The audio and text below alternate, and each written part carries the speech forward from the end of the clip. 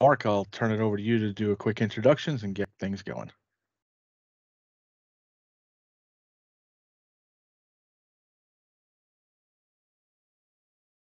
Yes, good morning and good afternoon uh, for everyone on the call. Really appreciate you coming out today to our session on Azure API Management. Uh, I am Mark Quickel. I'm an Azure specialist with uh, the uh, East EDU group. So I cover K-12 higher ed and academic research. Uh, and um, I'm actually going to turn over then to Anthony to uh, introduce himself and kind of start us off today. Absolutely, Mark. Thank you. And good afternoon, everyone. My name is Anthony Maiolo. I am also an Azure specialist here uh, at Microsoft and do cover the western half of the US uh, here for, uh, for education. And we're going to talk a bit about the importance of APIs and what they do, and really diving more into an API first uh, approach and strategy. So, really, having an API first approach allows institutions to effectively collaborate and connect. And this is to really support the needs and goals of the institution. API first is more than building an API for every product you have. API first is a strategic and tactical method for how you view institu- institutional goals, products, uh, and experiences. APIs have become building blocks for modern software for institutions. The growth of APIs reflects a new reality in the fact that technology users demand experiences that span multiple devices, with expectations that data and services are instantly available and shareable across platforms. This means that every institution is effectively a software business servicing students and employees. An API first strategy is essential to every institution. Campuses that are adopting an API first strategy are the ones that are gaining ground the quickest in a growing API economy. API first allows you to view your business as a set of API products that work together to provide the features, data, and capabilities that your institution supports.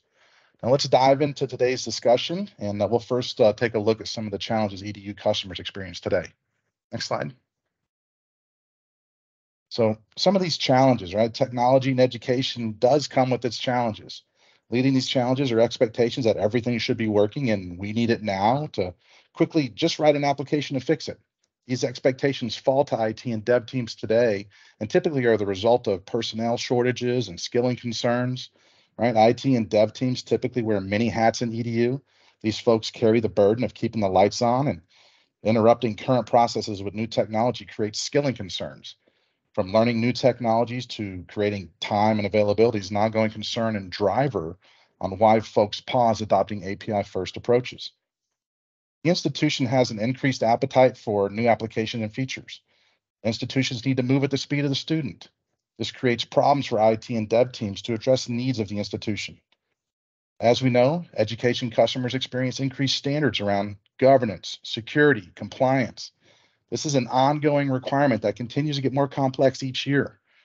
Given today's economic climate, education customers experience rising technology costs with limited budget constraints. Remote work is added to the workloads of IT and dev professionals. Remote work, hybrid cloud, and hybrid devices are a challenge to manage. Finally, aging software and hardware systems create a challenge for IT and devs. With these challenges, data and services quickly get disconnected from the administrator, educator, and student experiences.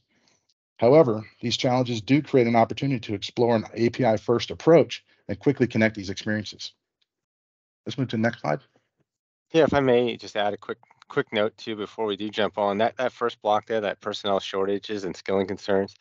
Uh, I, I've I've been in a couple of sessions even just this morning and yesterday on that very very topic with our edu customers it's a big deal um, not only from the perspective of you know hey we're we're expected to do more with less headcount or we can't find the headcount but uh, the idea of we need to be able to meet our developers where they are with their current skills and their current abilities and maybe they don't match what our current expectations are and how do we get there. So that, that that's a really big deal that we hope our presentation today will to some extent address.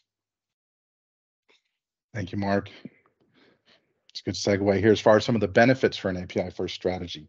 Right, giving your team an API first approach equates to providing positive experiences for the entire institution. API first is an approach that allows institutions to do more with less and still meet the institutional goals and objectives speed, time, accuracy, security, scalability, and reduced costs. These are all benefits surrounding an API first strategy. Examples include dev teams working in parallel, which to build on each other's work and accelerate development. This also helps reduce the cost of application development. Having team members working in parallel reduces costs and, and helps meet the budget needs of the institution. Developers are simply spending less time debugging each other's code. There are also opportunities to leverage low code solutions such as Power Apps to meet these demands. With teams working in parallel, this quickly increases the speed to get applications to market. Institutions are able to realize value quickly in an API first strategy. This ensures good developer experiences and gives much needed tools to, de to developers right, to timely address the needs and goals of the institution and um, keeping developers engaged with the latest technology helps provide a great opportunity in a high demand position. Developers can focus on innovation rather than creating existing or recreating, I should say, existing software. APIs allow them to choose technologies and programming languages that they want to work with. Happy developers equal developer productivity. Lastly, developing an API first strategy helps reduce the risk of failure. A published API is easier to navigate, to identify issues, and avoid potential service interruptions. We'll get more into this here in a bit.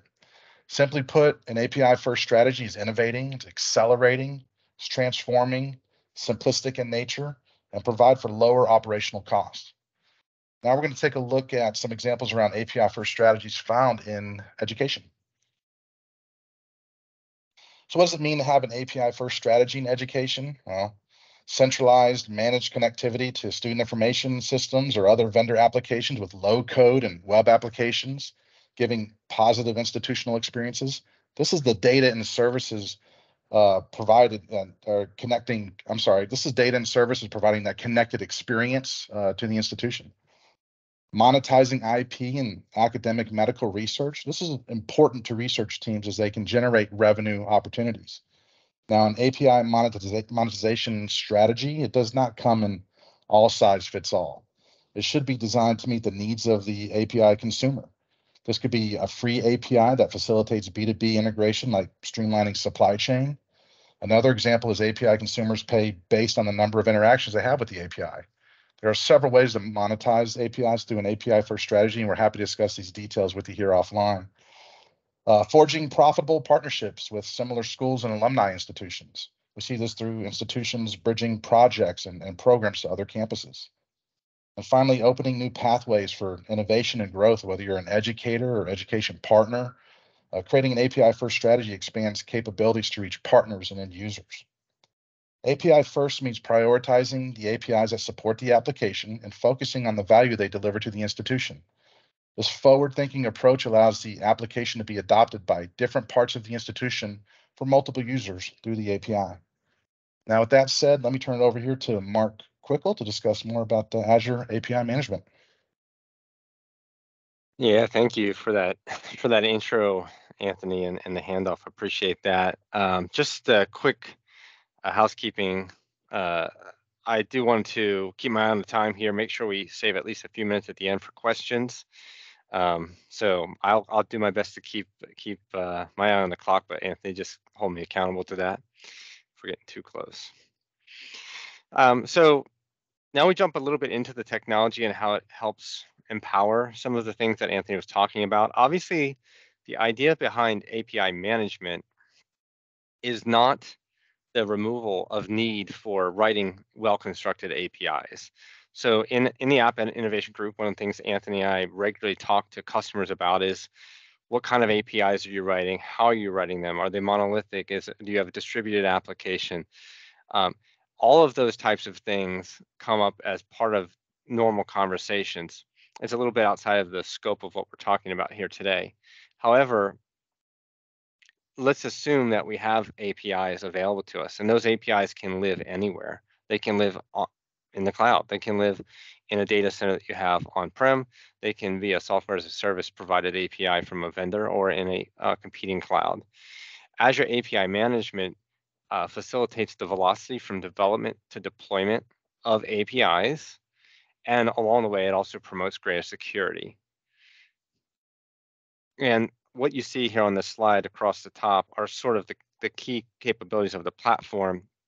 And then underneath that, I've blocked out a few of the areas that I think are, are fundamental things that you should understand uh, as someone who's coming in saying, what can API management do for me? I am not going to go through all of them uh, on this first slide because we'll kind of dive into them a little bit as we look at individual capabilities of the platform. But if I can just kind of call out, you know, two areas, you know, the easy API consumption for internal developers along with documentation and mocking. The idea there, right, is the product has uh, a gateway that allows you to decouple clients from the APIs. And that allows your client developers to start writing applications that um, can talk to your backend systems without the implementation of that backend system being developed yet. Uh, it allows us to create mocks and, and to be able to document those mocks. So uh, it doesn't matter if you have a, a someone in Power Apps uh, trying to uh, consume, you know, potentially, let's say, student or grade data that you may have in your system uh, in their low code application, or if you have uh, another API developer or app developer who may be hosting an, a web application that needs to consume it. Regardless, we provide that mechanism for that to be very, very easy. And as a part of that process too, a, another great example of that would be aggregation of multiple backend services into a single aggregated response. The common thing we have to do as developers, right, would be you know, again, going back to students and grades, we, we may write a JavaScript application in React and in, and in order to bring a unified view of grade data, we may need to query the, the student data and we may need to query the grade data and, and then aggregate that information together. We may be creating promises in code or whatnot to be able to do that. Well, with API management, we can simplify that ease, especially for, again, for low code developers who may not have necessarily the breadth and depth of skills and knowledge to be able to do that by providing a single unified response that does the aggregation of student and grade data behind the scenes and handles authentication to those and so on and so forth. And that also helps us to avoid a chatty um, IO anti-pattern as well on top of it. And then uh, another thing is our backend services may not necessarily be exposing a client-friendly protocol such as HTTP or WebSockets. And so we, as a client consumer, we don't need to necessarily be concerned with what what is the backend communication channel for these APIs. We just need to know, hey, we have an API available to us. It follows this format. Maybe we have standardization of format, authentication, some other things. And so, you know, definitely that that's a big, big part of this as we kind of move forward. You'll hear that theme a little bit more. And then again, the reporting and security, and we'll get into this in a little bit more detail, but um, you know, client authentication being offloaded to the API gateway is a big deal. Uh, it allows us to centralize our authentication and it allows us to standardize our authentication and make it easier for our consumers. It does offer IP whitelisting, blacklisting, SSL policy management, other things to help promote a tighter security posture.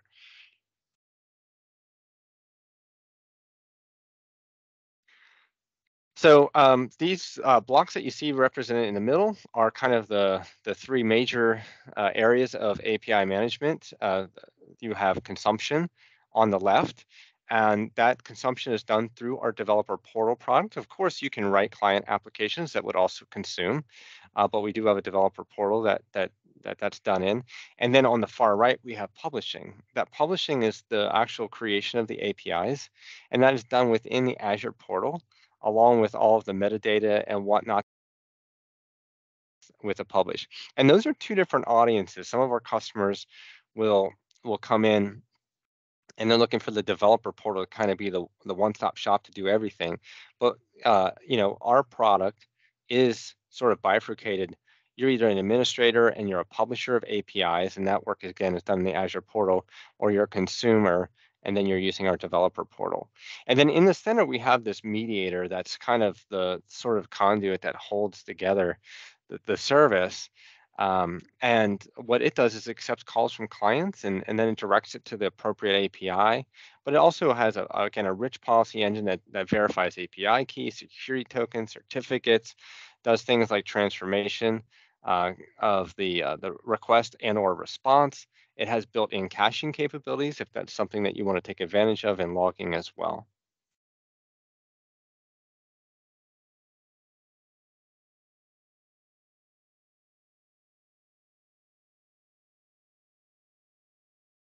So assuming that you have a well-formed API or series of APIs, the first thing you have to do is get the API into the API management system. And uh, there are multiple ways to define an API. Uh, we do allow native uh, importing from an open API specification. So if you're already using some of our newer .NET uh, tooling uh, products, then that will be really easy for you because that open API specification gets generated as a part of your project. Uh, of course, if you're using uh, external products like um, like Swagger Hub to do that work, you can also import that information directly into API management as well, and then and then uh, go on from there. and then on the right, you can see you can also create from um, either one of our existing templates that we have, or from a blank template. And blank templates are great for when you want to stub out a new uh, API and just kind of uh, uh give a response back as part of a policy and not necessarily not necessarily have an API already built. But you can see there we have uh, logic apps and we have function apps in there uh, natively. So uh, for those of you that are accelerating already uh, on your API builds through logic apps or functions app, they're very, very easy to, to put in there.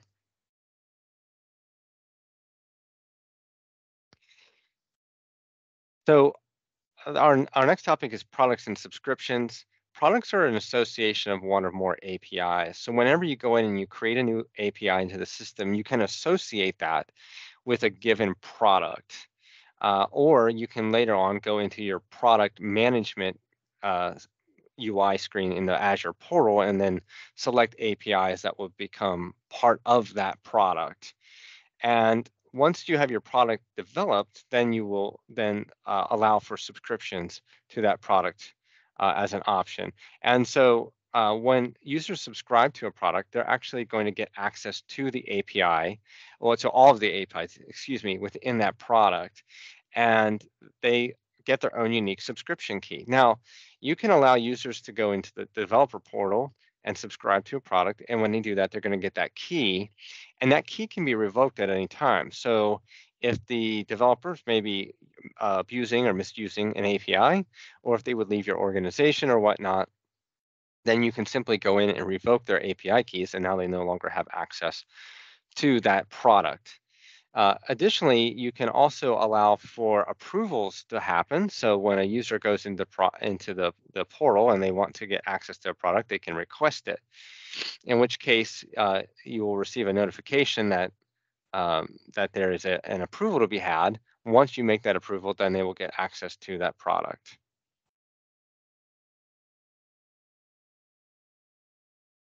One of the questions that actually does come up uh, about products is how should how should we productize? And it, it, does come back to what anthony was talking about earlier about monetization. We think about monetization uh, that doesn't necessarily mean you know um, we're we're charging for a product right? We can think about that more from more generally as productization.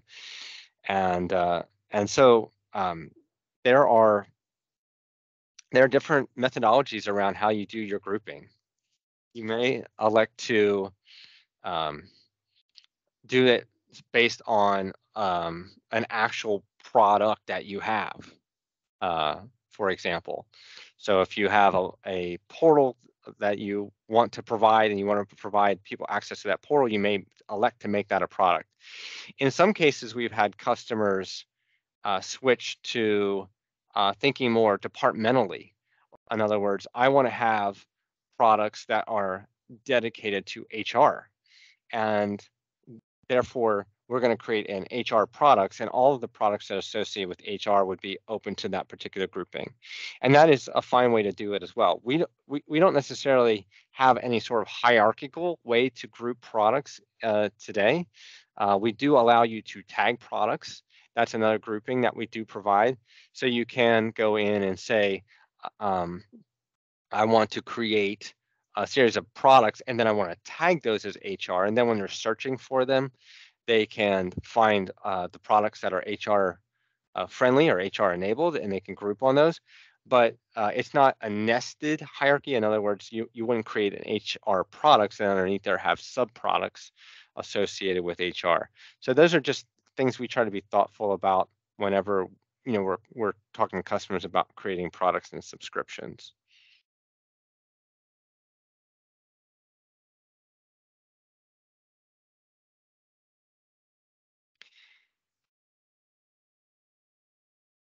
So one of the capabilities that API management does afford out of the box is enablement of Power Platform connectors. Uh, it's a really cool capability. If you do have low code developers, they'll certainly appreciate this. And the idea is that uh, you can you can take an API that you may have provided and have a one-click capability that will promote that API as a custom connector to either Power Automate or Power Apps Canvas apps. And um, at that, you know, you can actually do that work manually. Like like a lot of these things, uh, there's more than one way to, to get it done. The process to do that, though, requires you for every single API that you have to walk through uh, a several page wizard. And that several page wizard, once completed, will create the custom connector. It's not hard. It's just it's just labors in, in nature. And so by doing this, especially if you have a lot of APIs, you can streamline how quickly you can get your APIs from developed to a custom connector to be consumed in Power Platform. Now, in addition to the ease of deployment, there are some other capabilities that you do get inherently out of the box. And, and those are the same capabilities that you get that are built into the API management platform. Uh, for example, uh, I've built a number of custom connectors personally, and some of the challenges that I've had as a developer of that is in the Power Apps side, when you log in and you go to the test page and you go to do a test, you may run into situations where that test fails. Why can't it communicate with the backend API? And unfortunately, the Power Apps user interface is not always the most articulate as to why that connector will or will not work. Um, uh, for example, a common thing that we run into is issues with CORS connect, you know, uh, where you don't have a CORS policy in place for the uh, API to be able to communicate with whatever backend service it needs to communicate with. And when you have a CORS error like that, it doesn't tell you that. It just tells you that it uh, the data that you got was unexpected. Um, and so, you know, it's not necessarily overly helpful from that perspective. So you may have people trying to create custom connectors, and it's just it's just taking a little bit more time and effort and energy than you would hope that it would. And so by bringing in uh, API management, you can do all of that testing on the back end uh, and, and you can validate everything's working fine there before you ever expose it to the front end. So that's one example. The other is this monitoring piece that you see in here and the ability to monitor end to end, especially those aggregated APIs from Power Apps or Power Automate. Now, if you have Power Apps, you can create a Canvas app, and that Canvas app can communicate directly with SQL Server. And uh, you would use a SQL Server connector to do that on a premium connector, make that communication to read and write. Our recommendation would typically be create that as an API instead and surface through API management. And, and there's a couple reasons for that. And one is my golden rule that I always say is never put business logic in a, in a uh, Canvas app when it's designed more for front end logic, right? Um, coming just coming from the developer sphere, that makes a ton of sense.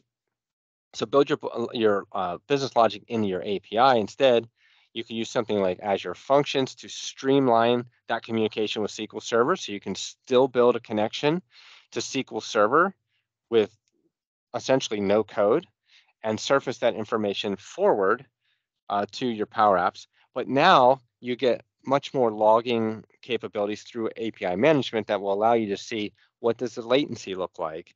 Uh, did you have an error? Was it transient in nature? Um, and do you have quotas or throttling that you want to set into place for calling the API? And all, all that stuff is toggleable, uh, you know, by the flick of a switch, essentially.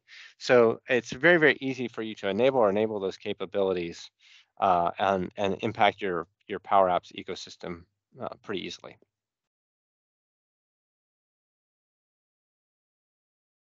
So earlier I talked about the development portal. If you remember, that was on the consumption side. It is a big part of what the, the product has to offer.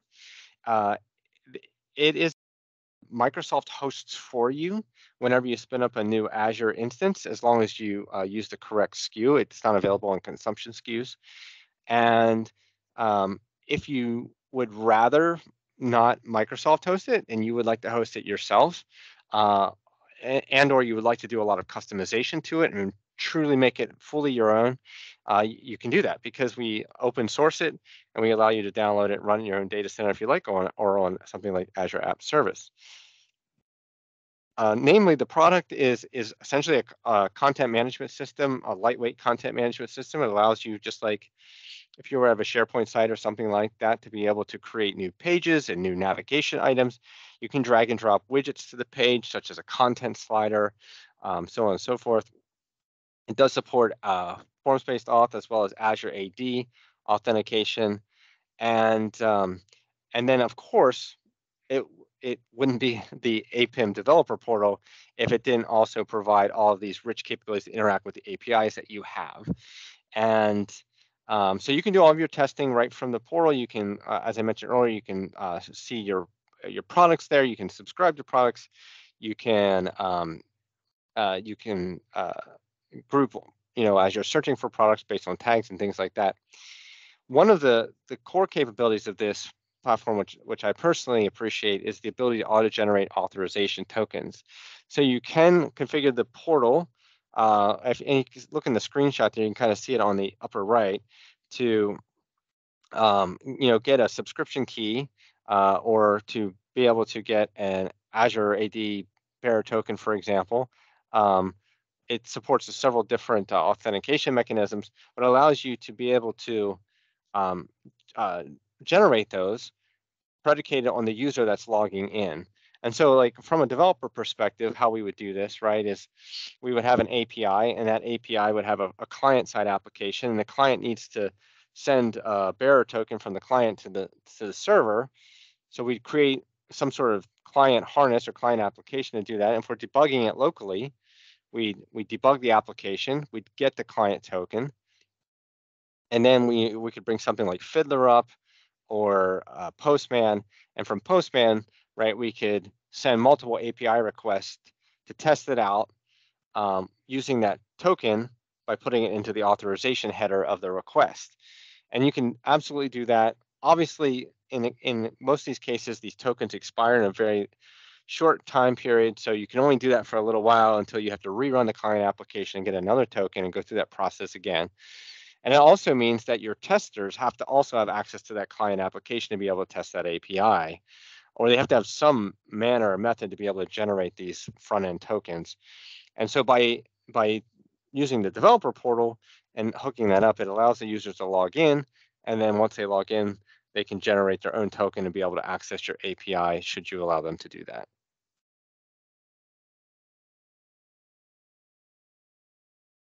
Azure API management does support full versioning and revisioning. Uh, there's already a lot of decisions that you have to make as a developer or development manager on like how am I going to version and revision my my API. So we try to at least take take the action of doing it uh, in in the in the portal off your plate, make that a lot easier for you. Um, eventually, you're going to need to make changes to your API uh, over time as, as users are using it, and you may not want to disrupt callers of that API. And so that's what revisioning allows you to do in the portal. Uh, you do have uh, the ability not only to make these non-breaking changes, but you can also comment uh, uh in a change log of all the changes that you're making to the API. That's all available uh, in the in the developer portal for the users to see as they're testing. And then you can roll back revisions and changes if you need to. Should uh, should that be a situation where you where you make a new version of a revision, the active version, and you need to go back to the previous version if there would be some sort of problem.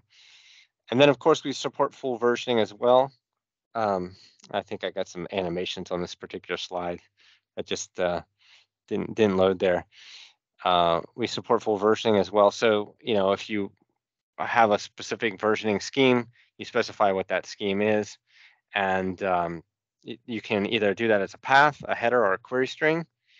Um, and then it, it, essentially creates a version set that gets adopted uh, that you can use there forward.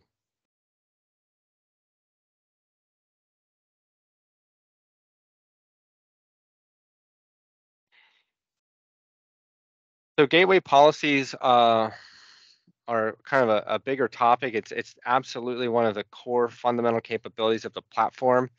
Uh, I think the description you see on the slide is pretty straightforward. It sets inbound, outbound, and backend controls through configuration. And um, there's a there's a lot of them. Uh, there's a URL at the bottom that you can uh, certainly look up that will give you a lot of examples of the different types of policies that you can do. And so some of it you see there, check header and uh, validate JWT, for example, are, are, a great way to help with authentication authorization scenarios. In fact, uh, one of the one of the customers I was working with, they had multiple uh, backend APIs, and what they wanted to do is when a user would hit a single front end API call, which was surfaced through API management, they would get the bearer token and extract the claims out of the token. And as part of those claims, they were including group claims. So they could also see a list of the groups that that user was a member of. And then predicated on whether or not they were in staff and faculty, or if they were just in a student group, they would redirect that back end call to a specific API uh, endpoint. So that's a perfect example of how these policies could work. How would we do something like that without API management? Well, typically we would write some sort of facade API, and that facade API would be a single point that would, a request would be made, and then in code we would extract out the claims, and then we would do some sort of response redirect to the backend call, and then surface that information back using something like HTTP client or web client classes in uh, in in C sharp, for example. So you can do that. That's absolutely possible. But we were able to do this very, very quickly as a policy. And you know what? If that policy would change at all, we can simply go in, make a, a revision to the uh, to the policy itself, and and now we the back end the back ends could change appropriately, and the front end wouldn't be completely oblivious to to that there being any difference. Uh, as I mentioned earlier, there is IP filtering. There's uh, you can set quotas and throttling in here. There's a JSON to XML and an XML to JSON. Um, so if you want to um, be able to standardize your responses, whether those APIs would be some that you wrote or uh, something a third-party vendor, you can easily do that conversion uh, using uh, policy. We do have uh, return response capabilities as well uh, which will allow you to just simply return a response. And that's sometimes great, like, um, you know, as, again, if you're working with your own APIs, you have a lot more control, but sometimes when you're working with third-party APIs, they may give you back um, error messages that are a little bit obscure or or inaccurate, or maybe they're returning back, um, you know, uh, a 401 but you know that the reason it's returning back a 401 is because they don't have specific claims. You can do those checks and return those responses back, you know, um, prior to having to deal with what's coming back from the API.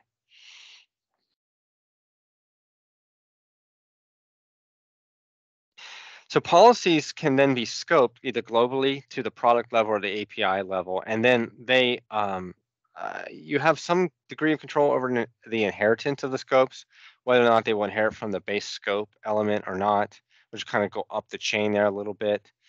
Um, this is kind of a big deal, uh, in my opinion. Uh, if you recall earlier, we were talking a little bit about um, the Power Apps Easy button.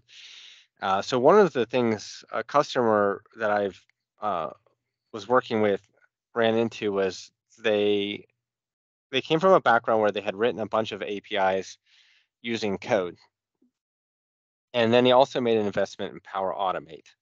And so we were having a conversation one day about uploading files to SharePoint using the Graph API.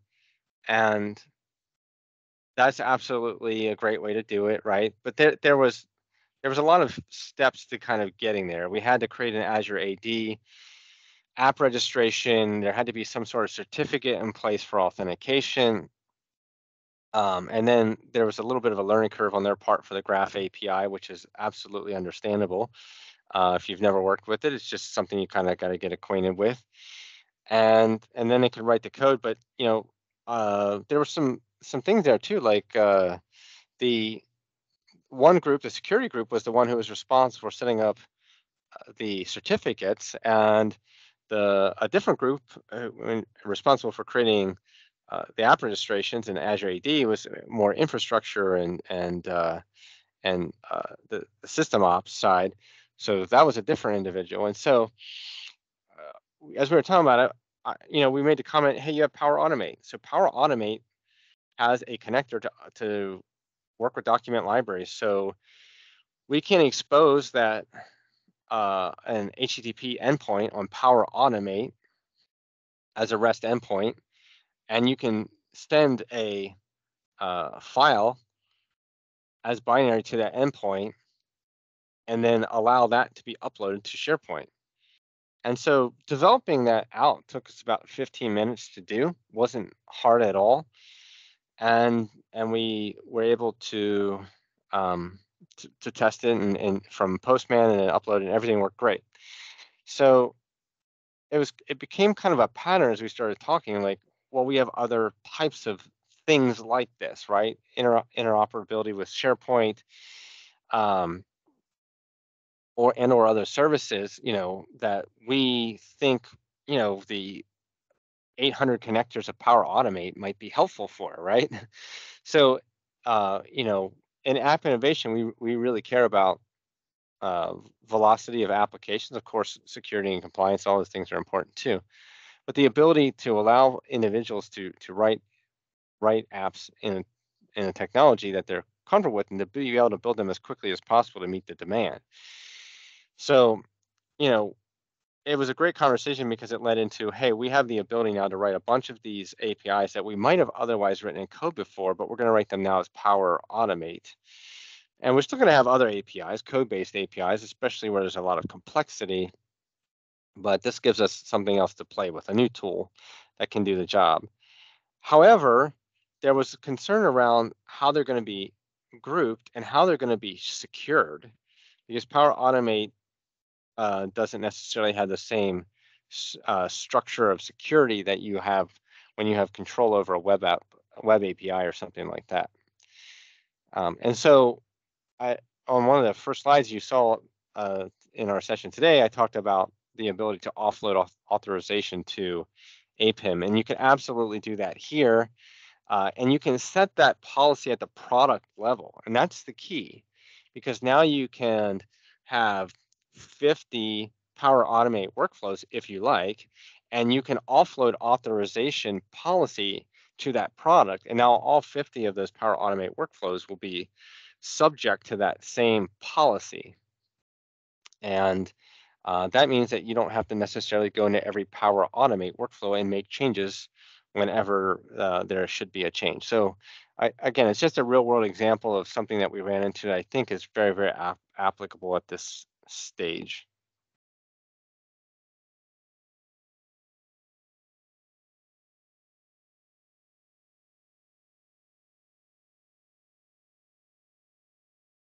Just a quick note, we do have something uh, called policy expressions. Those are C-sharp snippets that uh, you can inject into these policies. You can see kind of an example here that allows you to use array types in a context request header. Um, and then there's uh, sort of a uh, when statement that allows you to do conditional logic and so on and so forth.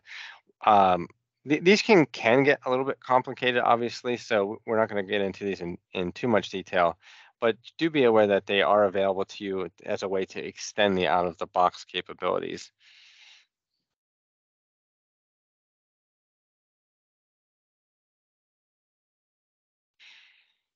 API management also has the notion of name values. Uh, essentially, it's a key value pair that allows you to uh, store securely. I think the biggest note on here is that you can reference Azure Key Vault uh, secrets at, for for your name values. So that's a that's a pretty cool thing. If you already happen to have a bunch of your uh, application configuration secrets in Key Vault, then you know you there's not a ton you have to do to configure APIM. You simply reference them in, in here. Uh, and then inside of your policies, as you can see there sort of at the bottom, it allows you to uh, to reference that value and that uh, that key, excuse me, and then it pulls the value and inserts it for you.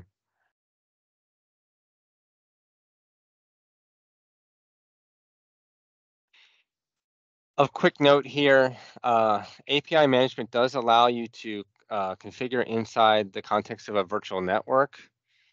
And uh, this would be helpful in, in scenarios, for example, where you would have like an Azure Kubernetes deployment on Azure. You have APIs that live inside of the containers, inside of a VNet, and then you have a load balancer and you want to expose that those APIs to API management.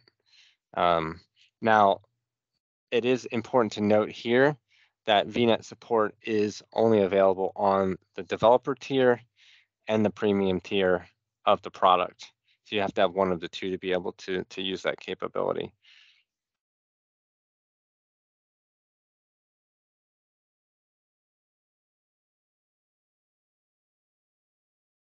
All right, we're getting through here. We're, we're almost done. Uh, I, I do want to cover yet uh, Azure Application Insights for uh, API management. In my mind, it is a big deal. Um, I'm a big fan of App Insights across the board, uh, regardless. But for API management, it certainly makes a ton of sense. Uh, and it's very, very easy for you to configure. So as you can see here, you have uh, incoming request telemetry, as well as backend service dependency telemetry and except, exception telemetry. All three of those are very, very relevant here. Um, and so imagine a situation where you uh, have, as I mentioned earlier, you might have a Power Automate, or excuse me, a Power App, and somebody is saving uh, a record uh, back, and and and all of a sudden they start getting failures. Well, one of the one of the challenges is in Power Apps uh, uh, depending on the types of failures you get, you may or may not get a ton of information as to why that failed. Um, you know, a lot a lot of times you'll just see a, sort of a generic error, and so what you can do is you can allow application insights to be able to to sort of uh, bubble up some of that information for you and give you more information um, about that about that particular error. It also helps in the situations we talked about earlier where you have potentially aggregate of APIs going on and you want to be able to track was there were there issues of latency between the different endpoints or whatnot. Um, you can actually see uh, as as you can see there kind of in the bottom image there you can have a, uh, a, a an actual API map, uh, an application map that will show all the backend calls that that API is making along the way and return that result up. And you can see the latency to each of those and you can see failures and then you can deep dive down there. What time did it happen? What browser did it happen? What users did it happen with? One other thing that this is valuable for is, is simply to be able to understand you know what apis are being used in the organization and how are they being used. And i think that's really important to understand when you have you know uh, constraint on resources.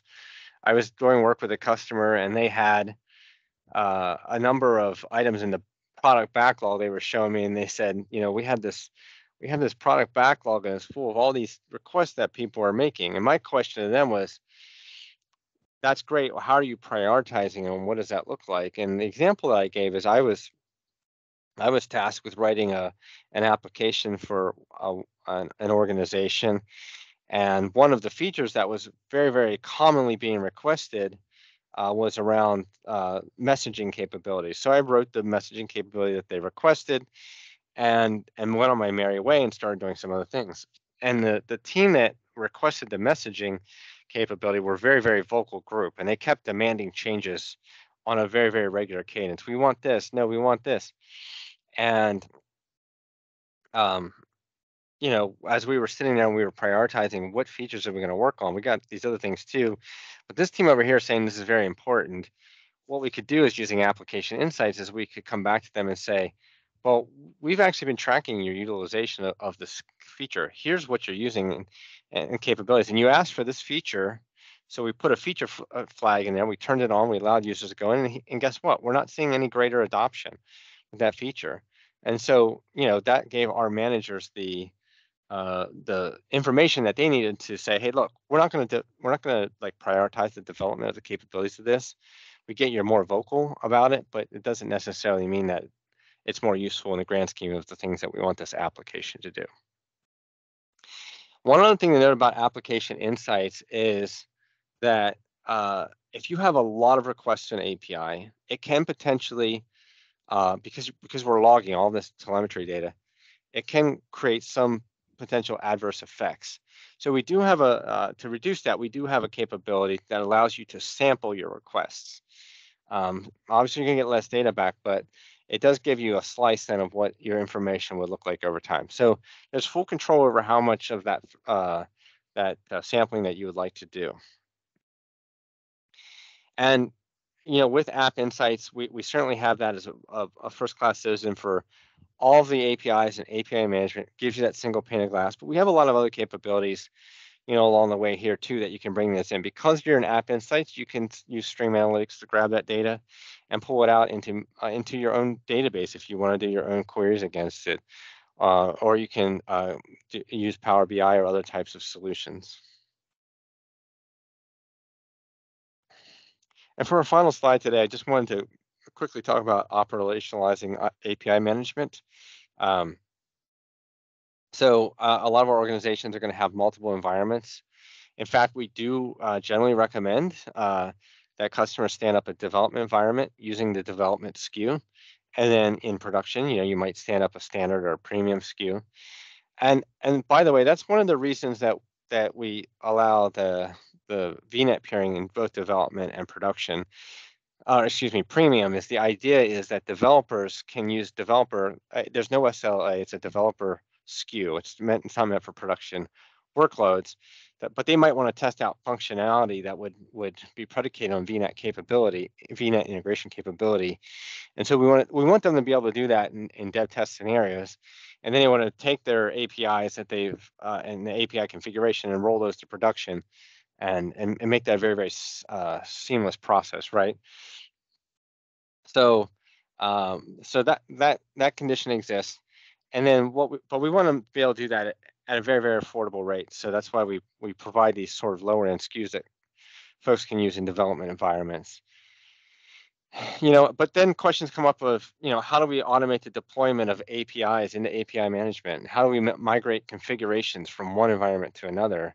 And how do we avoid interference between different development teams who share the same API management instance?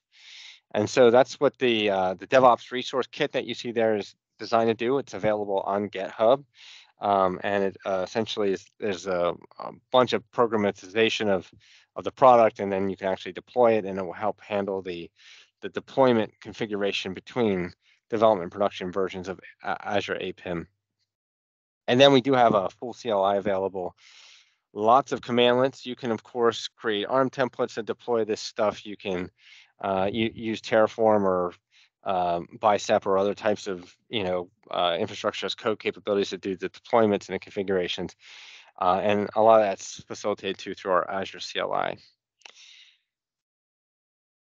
so i will uh, stop there and uh, we have about 10 minutes. Uh, certainly open up to questions and and uh, see what see what anyone thinks. Hey thanks mark. Um, just so everybody knows i have giving everybody the ability to come off mute. So if you have a question and don't feel like typing it, you can always come off of mute and uh, ask your question now. Thank you.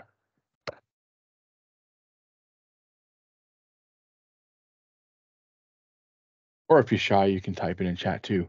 Um, while we're giving that a moment, um, please note that there's a um, a link there for feedback. So we do appreciate if you would uh, take a few moments to give some feedback on what you liked about the session, how we can improve it, etc.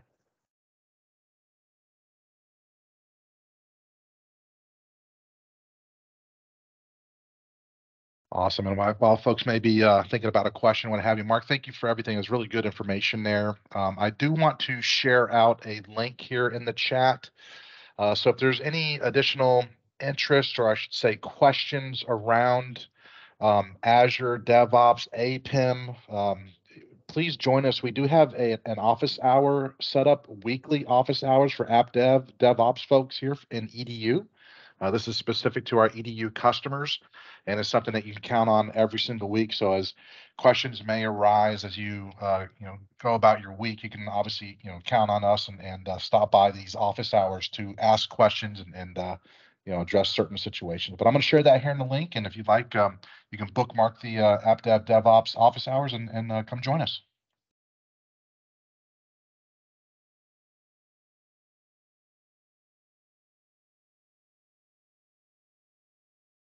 All right, uh, one last call for questions.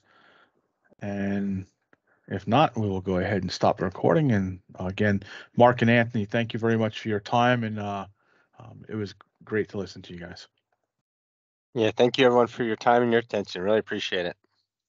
Yes, thank you, everyone.